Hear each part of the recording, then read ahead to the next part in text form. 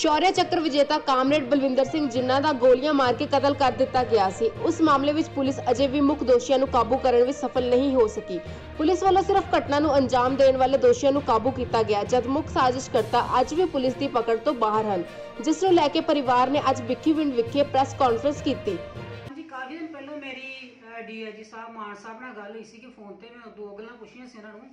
ਪਹਿਲੀ ਗੱਲ ਇਹ ਪੁੱਛੀ ਸੀ ਕਿ ਸਾਡੇ ਕੇਸ ਦਾ ਸਟੇਟਸ ਕੀ ਆ? ਕਾਮ ਸੀ ਕਾਮਰੇਡ ਸਾਹਿਬ ਦੀ ਸ਼ਹੀਦੀ ਬਾਰੇ ਜਿਹੜਾ ਕੇਸ ਆ, ਉਹਦੇ ਉਹਦੇ ਬਾਰੇ ਕੀ ਸਟੇਟਸ ਆ? ਉਹ ਕਹਿੰਦੇ ਸੀਗੇ ਕਿ ਇੱਕ ਦੋ ਦਿਨ ਦੇ ਵਿੱਚ ਵਿੱਚ ਐਸਐਸਪੀ ਤਰਨਤਾਰਨ ਐਸਐਸਪੀ ਸਾਹਿਬ ਤੁਹਾਡੇ ਕੋਲ ਪਹੁੰਚਣਗੇ, ਤੁਹਾਨੂੰ ਸਾਰੀ ਗੱਲ ਸਮਝਾਉਣਗੇ। ਮੈਂ ਵੀ ਕੋਸ਼ਿਸ਼ ਕਰੂੰਗਾ ਕਿ ਮੈਂ ਆ ਕੇ ਤੁਹਾਨੂੰ ਦੱਸਾਂ ਤੇ ਸਮਝਾਵਾਂ। ਪਤਾ ਨਹੀਂ ਕੀ ਸਮਝਾਉਣਾ ਚਾਹੁੰਦੇ, ਕੀ ਦੱਸਣਾ ਚਾਹੁੰਦੇ ਆ।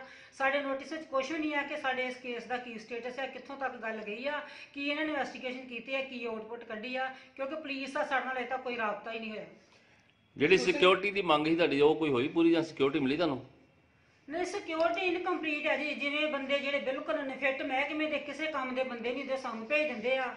ਇੱਥੇ ਸਾਡੇ ਕੋਲ ਕੁਝ ਜਿਹੜੇ ਹੈਗੇ ਆ ਵੀਡੀਓਜ਼ ਵੀ ਹੈਗੀਆਂ ਵਾ, ਉਹ ਜ਼ਰੂਰਤ ਪੈਣ ਤੇ ਅਸੀਂ ਉਹਨਾਂ ਨੂੰ ਸ਼ੋਅ ਕਰਾਂਗੇ ਕਿ ਕਿੱਦਾਂ ਦੇ ਬੰਦੇ ਸਾਨੂੰ ਪ੍ਰੋਵਾਈਡ ਕੀਤੇ ਇਹਨਾਂ ਨੇ, ਬਿਨਾਂ ਦੱਸਣ ਤੋਂ, ਬਿਨਾਂ ਪੁੱਛਣ ਤੋਂ ਕੋਈ ਵੀ ਬੰਦਾ ਜਿਹੜਾ ਵਾ ਚਲਿਆ ਜਾਂਦਾ ਵਾ ਤੇ ਹਾਂ, ਇੱਕ ਬੰਦਾ ਜ਼ਰੂਰ ਹੈ ਜਿਹੜਾ ਸਾਡੇ ਨਾਲ ਬਹੁਤ ਹੀ ਵਧੀਆ ਪ੍ਰੋਪਰਲੀ ਡਿਊਟੀ ਦੇ ਰਿਹਾ ਆ, ਉਹ ਲਗਾਤਾਰ ਹਾਜ਼ਰ ਰਹਿ ਰਿਹਾ ਵਾ, ਬਾਕੀ ਇਹਨਾਂ ਨੇ ਕਾਗਜ਼ਾਂ ਦੇ ਸਾਨੂੰ ਤਿੰਨ ਬੰਦੇ ਪ੍ਰੋਵਾਈਡ ਕੀਤੇ ਆ, ਪਰ ਜੇ ਵੇਖਿਆ ਜਾਵੇ ਤਾਂ ਪ੍ਰੋਪਰਲੀ ਇੱਕ ਬੰਦੇ ਵੱਲੋਂ ਸਹੀ ਡਿਊਟੀ ਦਿੱਤੀ ਜਾ ਰਹੀ ਹੈ ਪਰਿਵਾਰ ਦਾ ਪਹਿਲੇ ਦਿਨ ਤੋਂ ਇਹ ਦੋਸ਼ ਰਿਹਾ ਜੀ ਕਿ ਜਿਹੜਾ ਵਾ ਖਾਲਸਤਾਨੀ ਪੱਖੀ ਖਾੜਕੂਆਂ ਵੱਲ ਪਰਿਵਾਰ ਦਾ ਇਸ਼ਾਰਾ ਰਿਹਾ ਵਾ। ਲੇਕਿਨ ਪੁਲਿਸ ਜਿਹੜੀ ਆ, ਇਹਨੇ ਹੁਣ ਤੱਕ ਜਿਹੜੀ ਆ ਜਾਂਚ ਚੱਲੀ ਆ, ਉਹਦੇ 'ਚ ਕੋਈ ਗੱਲ, ਉਧਰਲੇ ਪਾਸੇ ਨੂੰ ਲਿਜਾਂਦੀ ਨਜ਼ਰ ਆਉਂਦੀ ਹੈ ਕਿ ਜਾਂ ਪੁਲਿਸ ਜਿਹੜੀ ਆ, ਉਹ ਇਸ ਨੂੰ ਕਿਸੇ ਨਿੱਜੀ ਰੰਜਿਸ਼ ਨਾਲ ਜੋੜ ਕੇ ਵੇਖ ਰਹੀ। ਹਾਂਜੀ, ਪਹਿਲਾਂ ਤਿੰਨ ਚਾਰ ਦਿਨ ਇਹਨਾਂ ਜ਼ਰੂਰ ਇਹ ਗੱਲ ਕੀਤੀ ਆ ਕਿ ਨਾ ਨਿੱਜੀ ਰੰਜਿਸ਼ ਨਾਲ ਜੋੜ ਕੇ ਮੇਰੇ ਬੇਟਿਆਂ ਨੂੰ ਜਿਹੜਾ ਵਾ ਉਹ ਇੰਟਰੋਗੇਟ ਕਰਨ ਦੀ ਕੋਸ਼ਿਸ਼ ਕੀਤੀ ਆ। ਪਰ ਉਹਦੇ 'ਚ ਸਕਸੈਸ ਨਹੀਂ ਹੋਏ, ਕੋਈ ਆਊਟਪੁੱਟ ਨਹੀਂ ਨਿਕਲੀ, ਜੋ ਕੱਢਣਾ ਚਾਹੁੰਦੇ ਸੋ ਨਹੀਂ ਨਿਕਲਿਆ। ਜੋ ਰਿਐਲਿਟੀ ਆ, ਅਸਲ 'ਚ ਰਿਐਲਿਟੀ ਸਾਹਮਣੇ ਆਉਣੀ ਆ। ਪਰ ਪੁਲਿਸ ਵਾਲੇ ਸਾਨੂੰ ਹਨੇਰੇ 'ਚ ਰੱਖਣਾ ਚਾਹੁੰਦੇ ਆ ਕੁਝ ਵੀ ਦੱਸ ਨਹੀਂ ਕਰੇ। ਜਿਹੜੀ ਗੱਲ ਅਸੀਂ ਉਸ ਦਿਨ ਫਸਟ ਦੇ ਕਹੀ ਸੀਗੀ ਕਿ ਇਹ ਜਿਹੜਾ ਵਾ ਰੈਫਰੈਂਡਮ 2020 ਨਾਲ ਕੰਸਰਨਡ ਆ, ਉਹ ਹੀ ਗੱਲ ਆਉਣੀ ਆ। ਉਹਦੇ ਤੋਂ ਸਰਕਾਰ, ਪ੍ਰਸ਼ਾਸਨ ਪੁਲਿਸ ਬਚਣ ਦੀ ਕੋਸ਼ਿਸ਼ ਕਰ ਰਹੀ ਆ, ਕਿਉਂਕਿ ਉਹਨਾਂ ਦੀ ਨਲਾਇਕੀ ਕਰਕੇ ਕਾਮਰੇਡ ਸਾਹਿਬ ਦਾ ਮਰਡਰ ਹੋਇਆ ਤੁਸੀਂ ਸਰਕਾਰ ਤੋਂ ਕੀ ਮੰਗ ਕਰਦੇ ਹੋ ਵੀ ਮਤਲਬ ਕਿੰਨੇ ਦਿਨ ਬੀਤ ਜਾਣ ਤੋਂ ਬਾਅਦ ਜੋ ਸਟੇਟਸ ਹੈਗਾ ਹੁਣ ਤੁਹਾਡੇ ਕੇਸ ਦਾ ਤਾਂ ਤੁਸੀਂ ਕੀ ਚਾਹੁੰਦੇ ਵੀ ਕੀ ਹੋਣਾ ਚਾਹੀਦਾ? ਅਸੀਂ ਬੜੀ ਦੇਰ ਤੋਂ ਇਹੀ ਮੰਗ ਕਰ ਰਹੇ ਹਾਂ ਕਿ ਜਿਹੜੇ ਅਸਲ ਵਿੱਚ ਜਿਹੜੇ ਦੋਸ਼ੀ ਆ ਉਹਨਾਂ ਨੂੰ ਫੜਿਆ ਜਾਵੇ ਤੇ ਸਾਨੂੰ ਦੱਸਿਆ ਜਾਵੇ ਕਿ ਅਸੀਂ ਫੜ ਲਿਆ ਜੇ ਨਹੀਂ ਉਹ ਕਿਸੇ ਵੀ ਸੱਟੇ ਤੇ ਪਹੁੰਚਦੇ ਫਿਰ ਅਸੀਂ ਆਪਣੇ ਸ਼ੌਰਯ ਚੱਕਰ ਲੈ ਕੇ ਤੇ doctor sorry president of India ਉਹਨਾਂ ਨੂੰ ਅਸੀਂ ਜਿਹੜਾ ਵਾ ਆਪਣੇ ਸ਼ੌਰਯ ਚੱਕਰ ਵਾਪਸ ਕਰਾਂਗੇ। ਕਿ ਉਹਨਾਂ ਸ਼ੌਰਯ ਚੱਕਰ ਦਾ ਫਾਇਦਾ ਹੀ ਕੀ ਆ ਕਿ ਜਦੋਂ ਪਹਿਲਾਂ ਜ਼ਰੂਰਤ ਬਣਦੀ ਸੀਗੀ ਕਾਮਰੇਡ ਸਾਹਿਬ ਨੂੰ ਇਹਨਾਂ ਨੇ ਸਿਕਿਉਰਿਟੀ ਨਹੀਂ ਦਿੱਤੀ, ਜਿਹਦਾ ਕਰਕੇ ਉਹ ਸ਼ਹੀਦ ਹੋਏ ਆ। ਹੁਣ ਵੀ ਸਾਡੀ ਸਿਕਿਉਰਿਟੀ ਐਸਐਸਪੀ ਸਾਹਿਬ ਦੇ ਕੋਲ ਫਾਈਲ ਮੇਰੇ ਵੱਡੇ ਬੇਟੇ ਦੀ ਪਈ ਹੋਈ ਆ। ਉਹਨਾਂ ਨੇ ਉਹ ਰਿਕਮੈਂਡ ਨਹੀਂ ਕਰੇ, ਬਾਕੀ ਸਾਰੀ ਫਾਰਮੈਲਿਟੀਜ਼ ਕੰਪਲੀਟ ਆ, ਪਰ ਐਸਐਸਪੀ ਸਾਹਿਬ ਪਤਾ ਨਹੀਂ ਕਿਹੜੀ ਚੀਜ਼ ਦੀ ਵੇਟ ਕਰ ਰਹੇ ਆ। ਸਾਨੂੰ ਮਜਬੂਰ ਕੀਤਾ ਜਾ ਰਿਹਾ ਹੈ ਕਿ ਜਿਹੜੇ ਵੈਲਿਡ ਲੀਗਲ ਤੁਹਾਨੂੰ ਵੈਪਨ ਨਹੀਂ ਦਿੱਤੇ ਜਾਣਗੇ। ਫਿਰ ਜਿੱਦਾਂ ਬਾ- ਬਾਕੀ ਸਮਾਜ ਵਿੱਚ ਚੱਲ ਰਹੇ ਆ ਐਂਟੀ ਸੋਸ਼ਲ ਐਲੀਮੈਂਟ ਚੱਲ ਰਹੇ ਆ, ਉਹਨਾਂ ਵਾਂਗ ਅਸੀਂ ਵੀ ਫਿਰ ਗੈਰ ਜ਼ਰੂਰੀ ਹਥਿਆਰ ਜਿਹੜੇ ਆ, ਗੈਰ ਲਾਇਸੈਂਸੀ ਹਥਿਆਰ ਚੁੱਕ ਕੇ ਆਪਣੀ ਸੁਰੱਖਿਆ ਕਰਾਂਗੇ ਤੇ ਉਹੀ ਫਿਰ ਉਸੇ ਲੀਡ ਅਸੀਂ ਚੱਲਾਂਗੇ ਜਿਵੇਂ ਬਾਕੀ ਚੱਲ ਰਹੇ ਆ। ਇਨਸਾਫ ਅਸੀਂ ਲੈ ਕੇ ਹੀ ਛੱਡਾਂਗੇ, ਅਸੀਂ ਬਾਹਾਂ ਨਹੀਂ ਖੜੀਆਂ ਕਰਾਂਗੇ। ਜੇ ਅਸੀਂ ਇੰਨੇ ਕਾਲੇ ਦਿਨਾਂ ਦੇ ਵਿੱਚ, ਪੰਜਾਬ ਵਿੱਚ ਕਾਲੇ ਤੌਰ ਵਿੱਚ ਬਾਹਾਂ ਖੜੀਆਂ ਨਹੀਂ ਕੀਤੀਆਂ, ਤਾਂ ਪੁਲਿਸ ਤੇ ਕੋਈ ਚੀਜ਼ ਨਹੀਂ ਆ।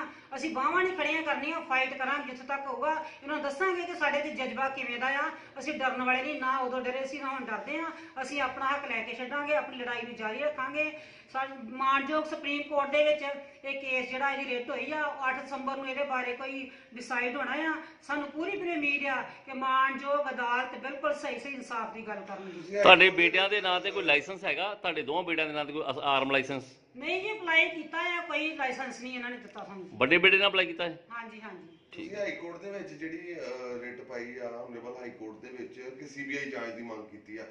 ਕੀ ਤੁਸੀਂ ਅਹ, ਕਿਉਂ ਮੰਗ ਕੀਤੀ ਤੇ ਕਿ ਸੀਬੀਆਈ ਦੇ ਵਿੱਚ ਕੋਰਟ ਨੇ ਜਾਂਚ ਕਿਉਂ? ਪੰਜਾਬ ਪੁਲਿਸ ਤੇ ਕੀ ਭਰੋਸਾ ਨਹੀਂ ਰਿਹਾ? ਕਿਉਂ ਤੁਹਾਡਾ ਭਰੋਸਾ ਉੱਠਿਆ ਉਹਨਾਂ ਤੋਂ? ਵੇਖੋ ਜੀ ਜਦੋਂ ਅੱਤਵਾਦ ਦਾ ਦੌਰ ਸੀਗਾ ਅਸੀਂ ਉਦੋਂ ਵੀ ਪੁਲਿਸ ਤੇ ਭਰੋਸਾ ਨਹੀਂ ਕੀਤਾ ਸੀਗਾ ਕਿਉਂਕਿ ਸਾਡੀ ਇਹਨਾਂ ਨੇ ਡਿਫੈਂਸ ਵਾਸਤੇ ਸਾਡੇ ਘਰ ਦੇ ਕੋਲ ਇੱਕ ਚੌਂਕੀ ਬਿਠਾਈ ਸੀ। ਉਸ ਟਾਈਮ ਤੇ ਚੌਂਕੀ ਵਿੱਚ ਦੋ ਮੁੰਡੇ ਹਥਿਆਰ ਲੈ ਕੇ ਭਗੌੜੇ ਹੋ ਗਏ ਸੀ।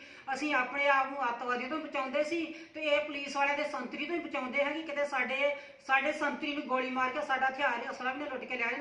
ਅਸੀਂ ਅੱਜ ਵੀ ਪੁ- ਪੁਲਿਸ ਤੇ ਪੂਰਾ ਭਰੋਸਾ ਨਹੀਂ ਕਰਦੇ। ਉਹ ਪੁਲਿਸ ਦੀ ਸਾਨੂੰ ਸਿਕਿਉਰਿਟੀ ਵੀ ਚਾਹੀਦੀ ਆ। ਇਹ ਸਾਡਾ ਰਾਈਟ ਬਣਦਾ ਆ ਪਰ ਇਹ ਨਾਲ ਨਾਲ ਸਾਨੂੰ ਆਪਣੇ ਪਰਸਨਲ ਡਿਫੈਂਸ ਵਾਸਤੇ ਵੀ ਵੈਪਨ ਚਾਹੀਦੇ ਆ ਜਿਹਦਾ ਕਰਕੇ ਅਸੀਂ ਅਪਲਾਈ ਕੀਤਾ ਸੀ ਤੇ ਐਸਐਸਪੀ ਸਾਹਿਬ ਬਿਲਕੁਲ ਟਾਲ ਟੋਲ ਕਰ ਰਹੇ ਆ ਜਰਾ ਵੀ ਨੋਟਿਸ ਨਹੀਂ ਲੈ ਰਹੇ ਇੰਨੀ ਵੱਡੀ ਗੱਲ ਹੋ ਗਈ ਆ ਫਿਰ ਵੀ ਐਸਐਸਪੀ ਸਾਹਿਬ ਪਤਾ ਨਹੀਂ ਕਿਸ ਚੀਜ਼ ਦੀ ਵੇਟ ਕਰ ਰਹੇ ਤੁਸੀਂ ਚਾਹੁੰਦੇ ਜੇ ਕਿ ਸਿਕਿਉਰਿਟੀ ਤੁਹਾਨੂੰ ਮਿਲੇ ਪਰ ਉਹ ਜੇ ਜਵਾਨ ਦਿੱਤੇ ਜਾਣ ਜਿਹੜੇ ਸੱਚਮੁੱਚ ਹੀ ਤੁਹਾਡੇ ਪਰਿਵਾਰ ਦੀ ਸੁਰੱਖਿਆ ਕਰਨੇ ਚਾਹੁੰਦੇ? ਹਾਂਜੀ ਹਾਂਜੀ ਬਿਲਕੁਲ ਅਸੀਂ ਦੇਖੋ ਰਹੋ। ਐਂ ਜੀ ਆ ਅਸੀਂ ਆਪਣੀ ਡਿਮਾਂਡ ਤੇ ਜਿਹੜਾ ਵਾ ਜਿਨ੍ਹਾਂ ਤੇ ਸਾਨੂੰ ਬਿਲਕੁਲ ਭਰੋਸਾ ਸੀਗਾ, ਆਪਣੀ ਡਿਮਾਂਡ ਤੇ ਦੋ ਨੰਬਰ ਦਿੱਤੇ ਆ, ਕਿ ਇਹ ਬੰਦੇ ਸਾਨੂੰ ਜਿਹੜੇ ਪ੍ਰੋਵਾਈਡ ਕੀਤੇ ਜਾਣ, ਉਹਨਾਂ ਵਿੱਚ ਇੱਕ ਬੰਦਾ ਸਾਨੂੰ ਪ੍ਰੋਵਾਈਡ ਕੀਤਾ ਗਿਆ, ਅਸੀਂ ਬਿਲਕੁਲ ਵੈਲ ਸੈਟੀਸਫੈਕਟਰੀ ਉਹਨਾਂ ਤੋਂ, ਕਿਉਂਕਿ ਸਾਨੂੰ ਬਹੁਤ ਜੇ ਡਿਊਟੀ ਉਹ ਦੇ ਰਿਹਾ ਵਾ। ਬਾਕੀ ਜਿਹੜੇ ਇਹਨਾਂ ਨੂੰ ਦਿੱਤੇ ਆ, ਬਿਲਕੁਲ ਡਰਿੰਕ ਕਰਨ ਵਾਲੇ ਬੰਦੇ ਜਿਹੜੇ ਮਹਿਕਮੇ 'ਚ ਬਿਲਕੁਲ ਨਫਿੱਟ ਆ, ਤੇ ਸੜਕ ਤੇ ਡਿੱਗੇ ਹੁੰਦੇ ਆ, ਲੋਕ ਉਹਨਾਂ ਨੂੰ ਚੁੱਕ ਕੇ ਠਾ ਕੇ ਤੋੜਦੇ ਵੀ ਤੇ ਕਿੱਧਰ ਨੂੰ ਜਾਣਾ ਆ। ਦੂਸਰੇ कोई भी होंगे बिना दस पुछन तो जो मर्ज़ी गेटों बहर हो जाते जो मर्ज़ी आ जाते हैं सगो खतरा बड़ा है कि सा गेट खुला रह जाता है तरन तारण तो रिंपल गोलन की रिपोर्ट लाइव भारत एक बार जो मैंने कमिटमेंट कर दी तो फिर मैं अपने आप की भी नहीं सुनता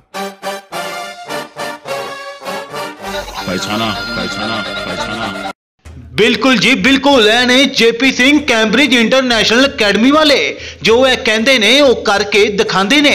ਆਪਣਾ ਕੀਤਾ ਹੋਇਆ ਹਰ ਵਾਅਦਾ ਨਿਭਾਉਂਦੇ ਨੇ। 1 2 3 4 ਨਹੀਂ, ਬਲਕਿ ਵੀਜ਼ਿਆਂ ਦੇ ਢੇਰ ਲਵਾਉਂਦੇ ਨੇ। ਤੇ ਹੁਣ ਵੀਜ਼ਿਆਂ ਦੇ ਢੇਰ ਲੱਗਣ ਲਈ ਤਿਆਰ ਹੋ ਜਾਵੇ ਮਾਲਵਾ, ਕਿਉਂਕਿ ਜੇਪੀ ਸਿੰਘ ਖੁਦ ਆ ਰਹੇ ਨੇ ਹੁਣ ਮਾਲਵੇ ਦੀ ਧਰਤੀ ਤੇ। ਹਰ ਸ਼ਨੀਵਾਰ ਮੋਗਾ ਜੇਕਰ ਤੁਸੀਂ ਵੀ ਪੜਨ ਲਈ ਜਾਣਾ ਚਾਹੁੰਦੇ ਹੋ ਵਿਦੇਸ਼, ਤਾਂ ਮਿਲਣਾ ਨਾ ਭੁੱਲਣਾ, ਕਿਉਂਕਿ ਜੇਕਰ ਤੁਹਾਡੀ ਪ੍ਰੋਫਾਈਲ ਦੇਖ ਕੇ ਜੇਪੀ ਸਿੰਘ ਨੇ ਕਮਿਟਮੈਂਟ ਕਰ ਦਿੱਤੀ, ਤਾਂ ਸਮਝੋ ਤੁਹਾਡਾ ਵੀਜ਼ਾ ਪੱਕਾ ਹੀ ਹੈ। ਇਹ ਨੋਟ ਕਰ ਲਓ, ਜੇਪੀ ਸਿੰਘ ਮਿਲਣਗੇ ਹਰ ਸ਼ਨੀਵਾਰ 21 ਨਵੰਬਰ ਤੋਂ ਮੋਗਾ ਦੇ ਬਿਗ ਬੈਨ ਹੋਟਲ ਦੇ ਵਿੱਚ ਨੀਅਰ ਬੱਸ ਸਟੈਂਡ।